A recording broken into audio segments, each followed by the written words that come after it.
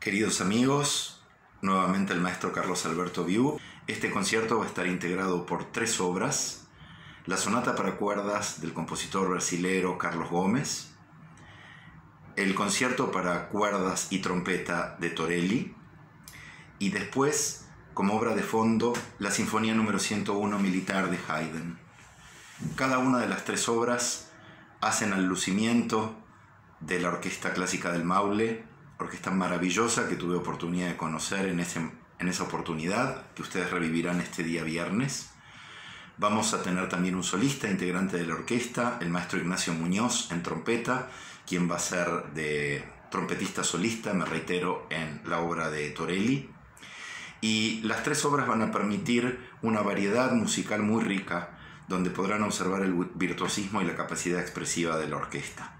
La obra de Carlos Gómez termina con un famoso número que es el borrico de palo, el borrico de madera, que hace efectos con los instrumentos de cuerda, reproduciendo lo que es el sonido de un burro cuando hace ese sonido.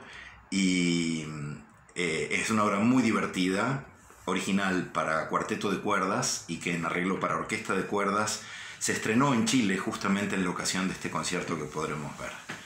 Después el concierto de Torelli para trompeta y cuerdas es un concierto donde el trompetista luce todo su virtuosismo técnico.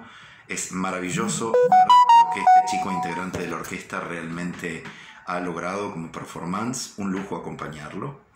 Y la Sinfonía Militar de Haydn, una de las últimas 12 sinfonías de las 104 que compuso este famoso compositor europeo, que tiene la particularidad de pertenecer al clasicismo musical y al periodo puntualmente llamado de las Sinfonías Londres. Esta, justamente por tener un carácter muy marcial, muy heroico, tiene una instrumentación muy particular, ya que agrega instrumentos de percusión que en la época no eran tan frecuentes y que sí después lo fueron en la orquesta romántica. Así que reitero, la invitación es por la plataforma del Teatro del Maule, www.teatroregional.cl, este viernes 22 a las 20 horas, junto a la Orquesta Clásica del Maule y a la humilde dirección de quienes les está hablando.